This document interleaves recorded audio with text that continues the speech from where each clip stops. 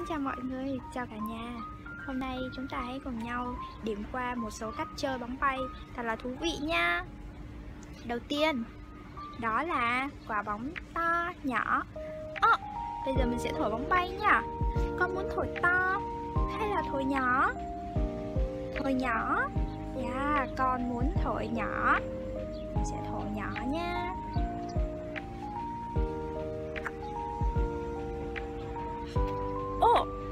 Quả bóng nhỏ. Quả bóng nhỏ nhỏ. Ơ uh ừ chi mất tiêu rồi. Mình thổi lại nha. Lần này mình sẽ thổi to Hay là thổi nhỏ? Ồ, oh, mình sẽ thổi to.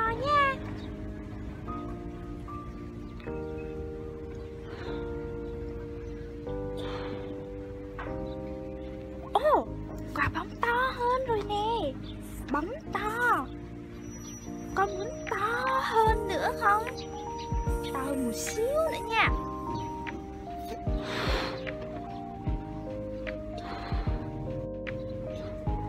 Wow, quả bóng to quá. Rồi, mình có thể uh, hát những bài hát về quả bong bóng. Quả bóng tròn tròn là quả bóng xinh xinh thảm co xanh sao bông đứng một mình Phải đứng một mình vì quả bóng chưa ngoan. Suốt ngày rong chơi nên các bạn cười chê. Thứ hai là mình sẽ để cho quả bóng xì và bay lung tung luôn. Sau đó thì uh, chúng ta sẽ cùng con đi đi tìm Tìm lại quả bóng nha. Một Hai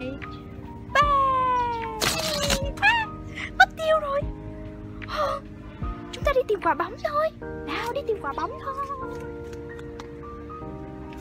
Yeah Quả bóng đây rồi. Thì chúng ta cũng có thể Trong quá trình chơi thì mình có thể hát vài quả bóng xì hơi Để lên trên tay và xì Để lên trên tay của con ha.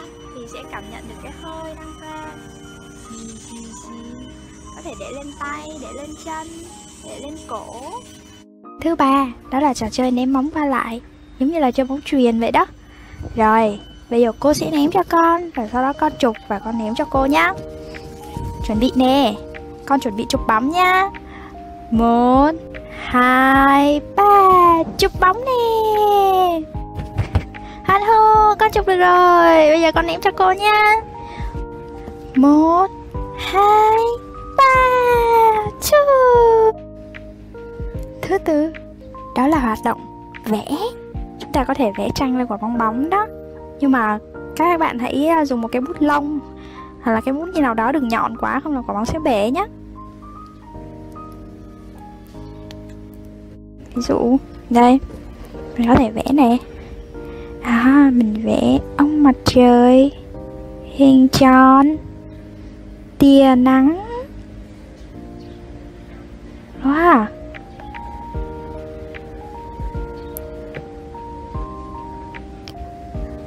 Vẽ mắt cho ông mặt trời. Và ông mặt trời đang mỉm cười nè. Đó. Ở bên cạnh ông mặt trời sẽ có một đám mây. Trời nắng trời nắng, thơ đi tâm nắng vươn vai vươn vai, thêm một đám mây nữa. Thò rung đôi tay nhảy tới, nhảy tới đôi trong nắng mới bên nhau bên nhau bên nhau ta cùng chơi. Một, hai hai đám mây. Ở dưới đám mây mình sẽ vẽ một chú thỏ. Chú thỏ đi tắm nắng đó. Mặt tròn. Một cái tai dài. Hai cái tai dài. Một. Mắt. Hai mắt thỏ đang cười ria mép cho thỏ. Thân con thỏ. Tay, rồi chân. Yeah. rồi chúng ta sẽ vẽ nhà cho thỏ nhé.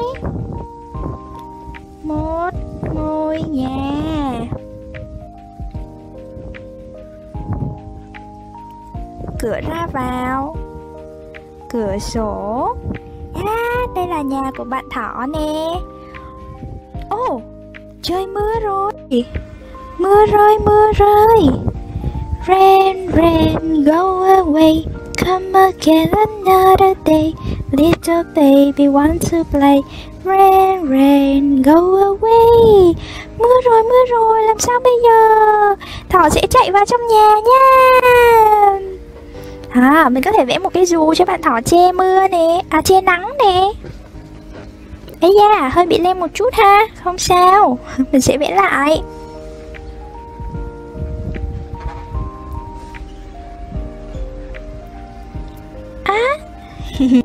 Dù có thể che nắng và che mưa. Rồi thỏ có thể chạy vào nhà. Dạ yeah, hay quá ta. Mình có thể vẽ thêm bạn cho thỏ Vẽ bạn mèo cho thỏ nhá. Một bạn mèo nè. Mèo Mèo. À một bạn mèo. Bạn có thể vẽ tương đối thôi ha. Ờ, không cần phải quá đẹp đâu. Miễn sao là có một số cái đặc điểm nhận dạng. Ví dụ như thỏ thì tai dài mèo thì có tai hình tam giác này. Đó thì đó là một số đặc điểm nhận dạng để uh, mình nhận ra đó là con gì là được rồi ha. Đó, đó là ví dụ về à, vẽ trên bóng bay. Mọi người hãy like chia sẻ và đăng ký kênh để ủng hộ cho kênh và nhận thêm được nhiều clip hữu ích mới nha.